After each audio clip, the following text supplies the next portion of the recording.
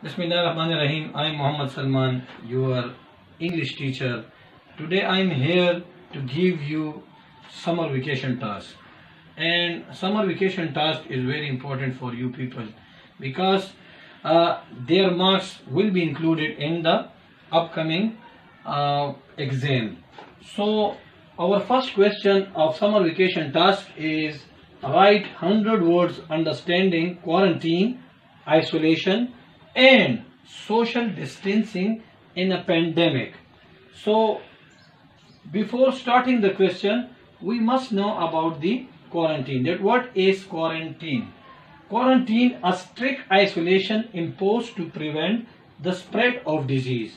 Why we use quarantine or why government use quarantine? Government use quarantine to stop the spread of contagious diseases. Quarantines are for people who don't have symptoms. Quarantines are for people who don't have symptoms but near to expose the sickness. But near to expose the sickness. A quarantine keeps them away from the people who, who are infected.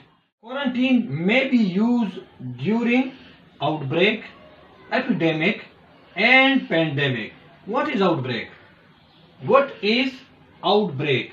Outbreak when there is a sudden rise in the disease or the number of cases of disease in a particular area or in a certain area is called outbreak. Number two, epidemic. Epidemic is similar to outbreak but generally considered larger and more widespread. Number three, pandemic. Larger than epidemic, global in nature. Global in nature means that it can be spread, uh, spread from country to country, from continent to continent. So it is called global in nature. Second, isolation. What is isolation? What is the meaning of isolation?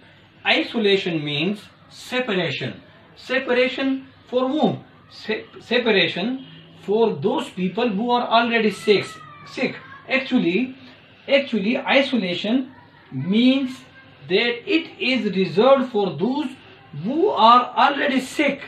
It keeps infected people away from healthy people to prevent the spreading of sickness. Number three, social distancing. What is social distancing?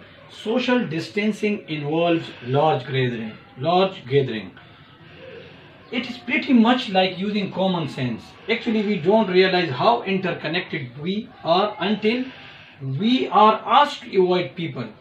They are used to avoid things like shopping mall, movie theaters, marriage hall, stadium, etc.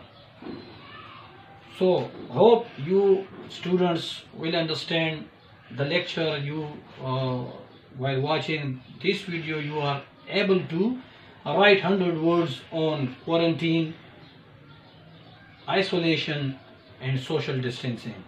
Thank you.